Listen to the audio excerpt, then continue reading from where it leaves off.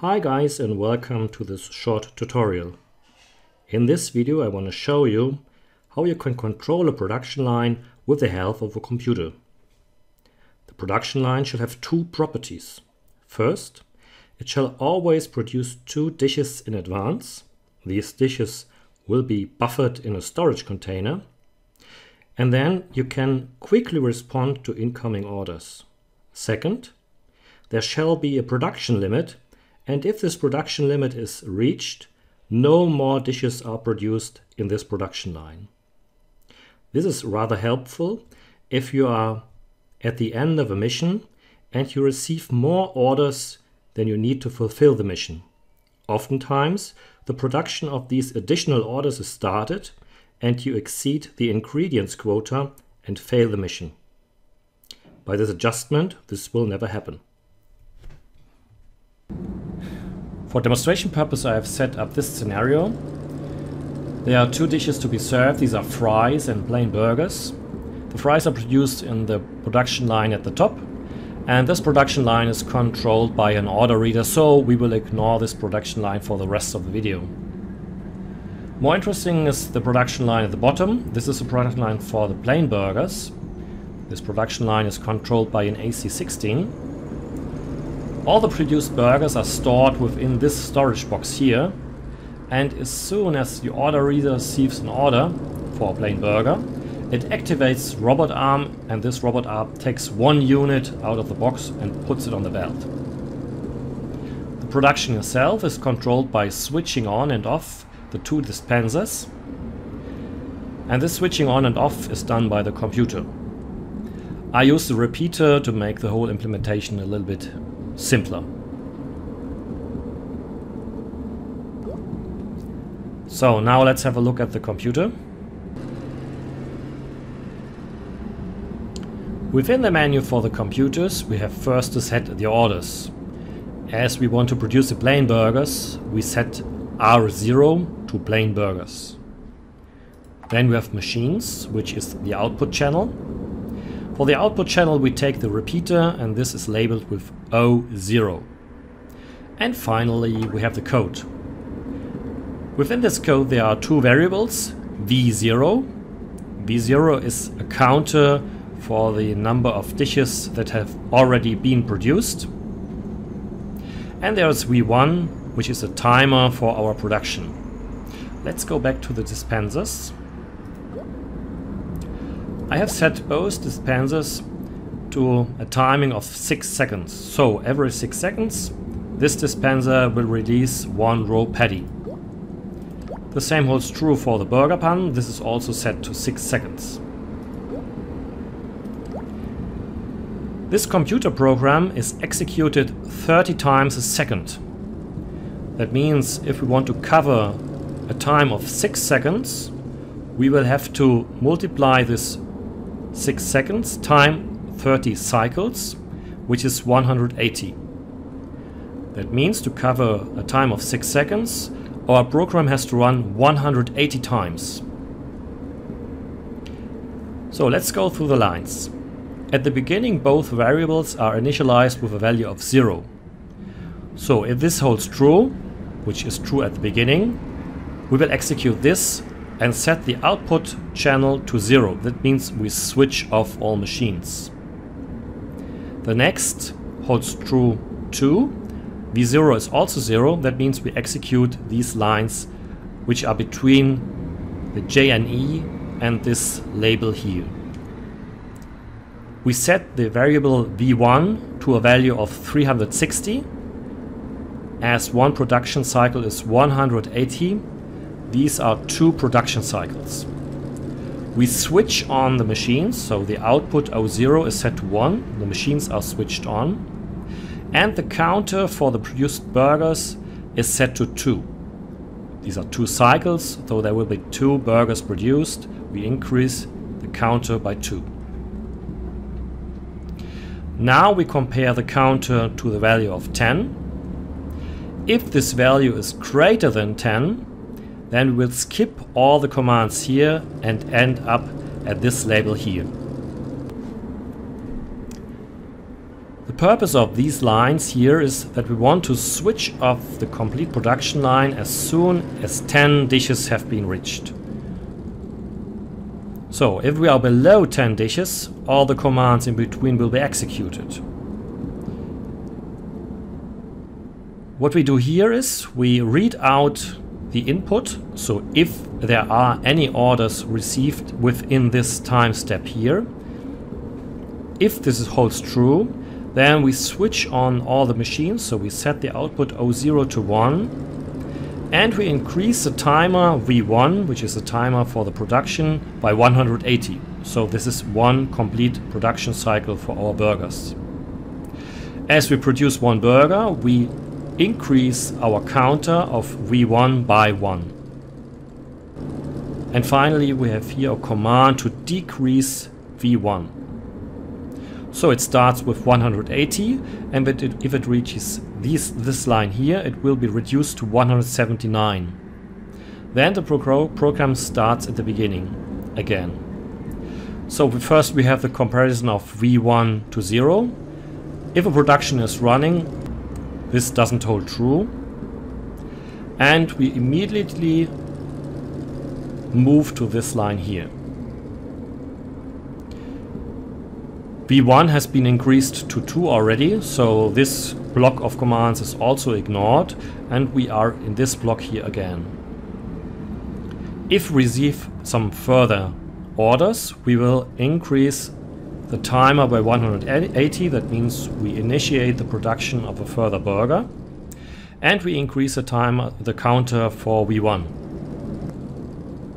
However, as we decrease V1 by 1 every execution of this program, at some point V1 will reach zero. If this happens, then the production will be switched off. So the output O0 will be set to zero. So now let's see how this program works in action.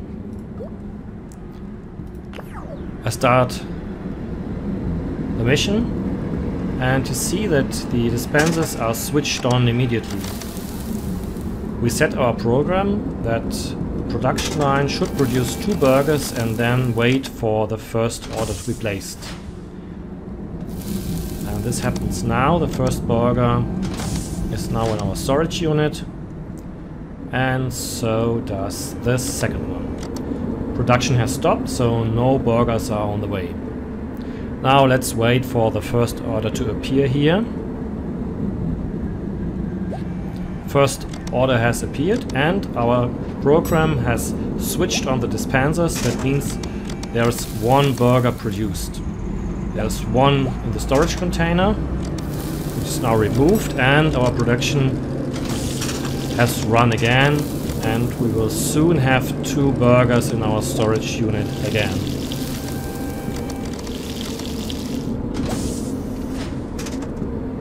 So there should be the second one. Now I will increase time stepping a little bit.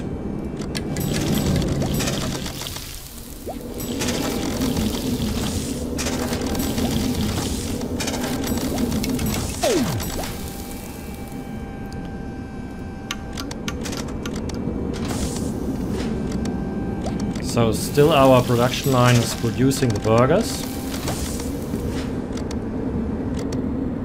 But soon we will reach the maximum which we set to 10 burgers, so there won't be an 11th burger. And this is what happened now.